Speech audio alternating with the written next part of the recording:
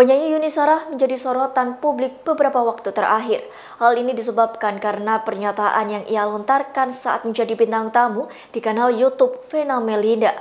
Pernyataan penyanyi Yuni Sarah tersebut ternyata tak hanya menjadi sorotan di Indonesia, tapi juga luar negeri.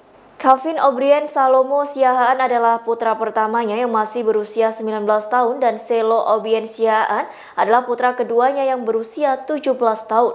Sebagai orang tunggal, Yuni mengatakan berusaha menerapkan pemikiran terbuka terhadap kedua putranya, termasuk perihal sensitif yakni seks.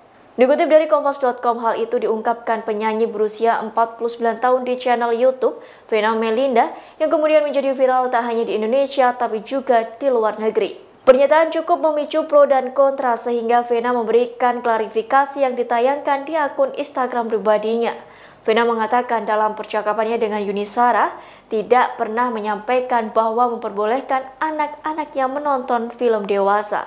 Pola pendidikan yang berbeda dari kebanyakan ibu di Indonesia ini ternyata tak hanya menuai perhatian dari dalam negeri, tetapi juga disorot media asing.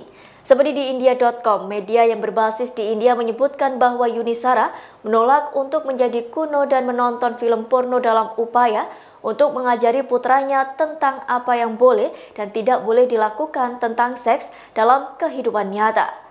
Selain itu, The Sun Media yang berbasis di Inggris ini mengutip pernyataan Yunisara untuk dijadikan penggalan judul. The Sun menyebutkan bahwa Yunisara adalah ibu yang mendidik putra remajanya tentang seks secara terbuka. Dalam artikel yang dimuat pada Selasa 29 Juni 2021 lalu, The Sun melaporkan bahwa artis 49 tahun ini disebut sangat menyeramkan oleh para kritikus lantaran menonton film biru bersama putranya. Menurut Yuni, mereka menonton film porno bersamanya untuk mengajari kedua remaja tersebut tentang apa yang boleh dan tidak boleh dalam kehidupan nyata. Media asing lainnya yang menyorot pernyataan Yunisara adalah portal media asal Australia Seven News Australia. Media itu membuat judul ibu asal Indonesia Yunisara menyaksikan film porno dengan anak laki-laki remajanya untuk memberi edukasi soal seks.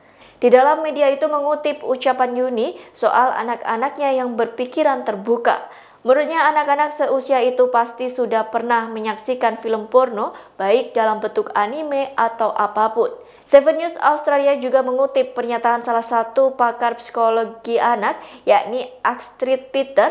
Menurutnya apa yang dilakukan Yuni tidak sepenuhnya salah.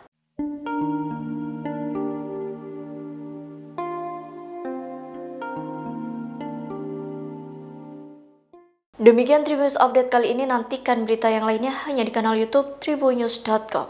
Terima kasih sudah nonton, jangan lupa like, subscribe, dan share ya!